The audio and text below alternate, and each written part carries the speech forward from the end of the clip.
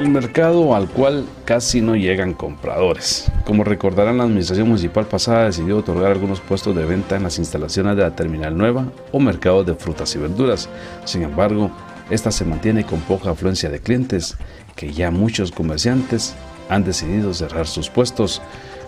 Registramos al señor Rigoberto Lucero Medina, vendedor de ropa americana en dicho mercado, para que nos comente la situación que ellos enfrentan. Vendemos eh, ropa de paca, productos eh, de desodorantes, lociones y champú. Don Rigo, ¿qué pasa con este mercado? Ya la gente jalapaneca le llama el mercado que no vende. Realmente vemos hasta pocos ya comerciantes. ¿Qué está pasando en este mercado?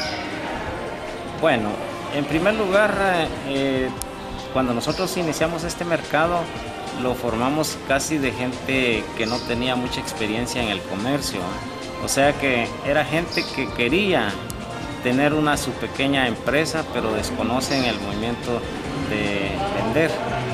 Y eso es lo que ha motivado a mucha gente que se desanima, porque ellos quieren ver resultados rápidos. Y el negocio pues hay que sembrar para poder cosechar.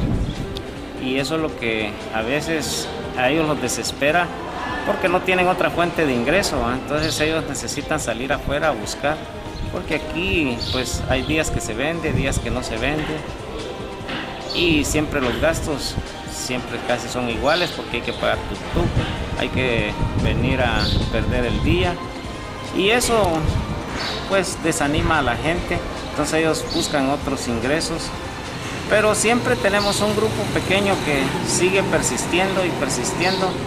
Pensamos de que un día no muy lejano llegue a tener un buen mercado, este, este mercado nuevo, como le llamamos nosotros, de frutas y verduras.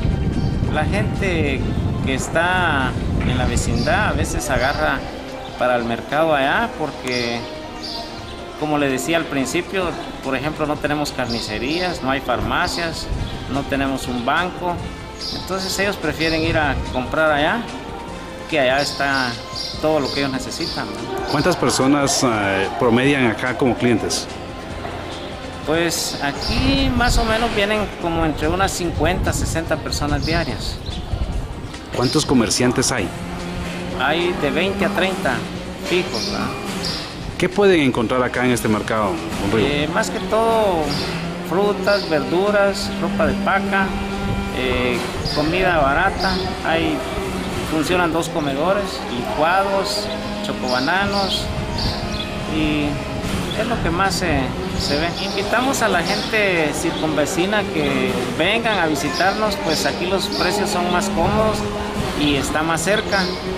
Además contamos con una seguridad estupenda, eh, local limpio, no hay lodo, no hay pena de que se mojen, el carro lo pueden parquear aquí a la par de los negocios.